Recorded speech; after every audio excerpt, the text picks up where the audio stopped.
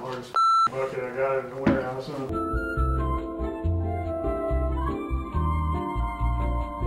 are you doing? Do you need help over there? This is the best part of the show, by the way, just letting you know. Soil King's a pussy.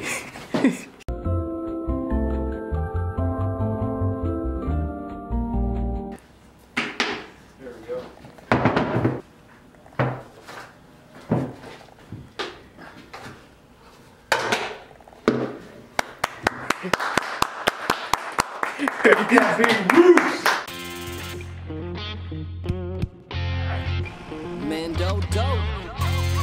Representing the cannabis culture.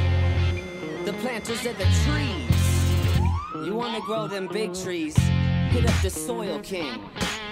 Yep, that's me. What's up, family? You know me. Scarecrow today. If I only had a brain. The Soil King. I'm here with my favorite product, Mr. B's Green Trees. You guys that know me out there, I love this. This is what I use. I use a lot of Soil King approved products, and this goes on everything. This is a great friend of mine, Matt, right here. Matt's going to tell us a little bit about his product. Sure. Well, so this is a uh, dry top dress amendment fertilizer. You could till it in your soil first. Uh, real easy to use. Well, we're all about simplicity. Things out there are just way too hard, and we were like, you know, let's make something that everybody can use and get great results. And we're going to talk a little bit about the application today, just so just how easy that can be. Well, great. Let's uh, go ahead and do some applications on the giant pumpkin patch. All right. Come on, brother.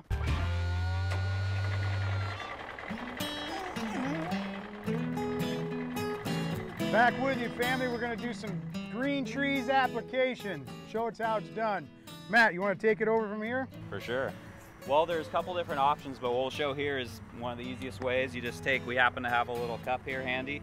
We say you can use about a cup in a 10 square foot area. This is a circle. This isn't exactly a cup. That's the nice thing about our products. This isn't rocket science. Put it right in here. A little bit extra there. Sprinkle around.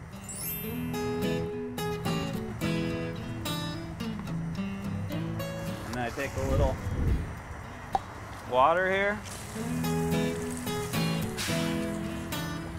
I mean, it's that simple.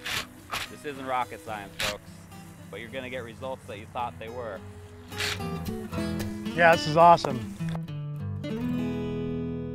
So the difference between using this and a liquid fertilizer would be most of the time liquids are 100% available at the time of application. But using dry fertilizers, you're adding uh, materials that are going to break down over time and continuously feed plants throughout a season. There's, a, there's 17 different materials in here that all have different rates of breakdown. So when one of our nitrogen sources or phosphorus sources stops delivering nutrients, the other one's just kicking into play. So you're getting a nice continuous feeding.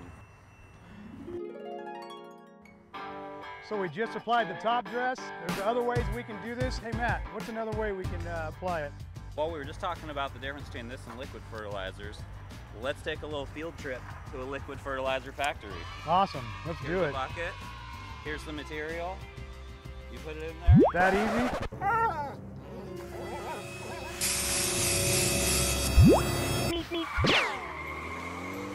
Let's put it right on this tree. How about that?